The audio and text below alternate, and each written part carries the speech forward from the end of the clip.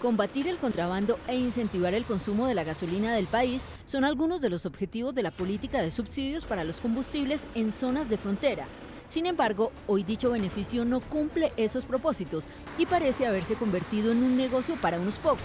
Así lo definió la Contraloría General en un estudio que realizó sobre el tema y peor aún que se volvió un negocio muy, muy grande porque está llegando a zonas que no merecen ese tipo de subsidios y se convirtió en un ejercicio básicamente especulación con los combustibles.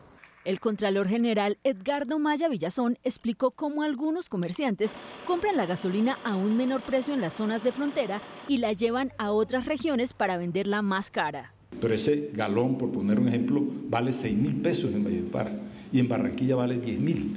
Entonces, ese carro tanque, la tractomula con 15 mil galones, se vende en Barranquilla a un distribuidor de gasolina, le gana 2 mil pesos, se la venden 8 mil y el de Barranquilla la venden 10 mil al consumidor al que llega a tanquear. Ese gana 2 mil, 30 millones de pesos y este se gana 30 millones de pesos por transportar del sitio de tanqueo a la estación de servicio en Barranquilla. Y así es en todo el país. Además, se ha identificado un excesivo número de estaciones de gasolina en las zonas de frontera en comparación con grandes ciudades del país como Bogotá. En Colombia hay 5.484 estaciones de servicio de combustible. En Colombia, en todo el país, de los cuales hay 1.126 en tres departamentos.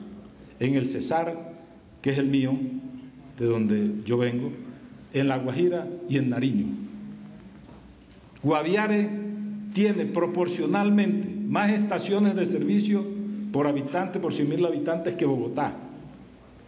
El Cesar, que tiene un millón de habitantes, tiene mayor cantidad de estaciones de servicio que el Departamento del Atlántico, que tiene 2.4 millones de habitantes. Y Nariño tiene igual estaciones de servicio que la ciudad de Bogotá, cuando Nariño tiene aproximadamente 1.4 millones de habitantes y Bogotá tiene 8 millones de habitantes. Por estas razones, el estudio de la Contraloría General determinó que la política de subsidios a los combustibles en la frontera debe ser revisada para que efectivamente se sigan otorgando subsidios, pero se otorguen de manera eficiente. Y dos, es la acción policial que se puede llegar a tener ese tipo de, arbitraje con, con los combustibles.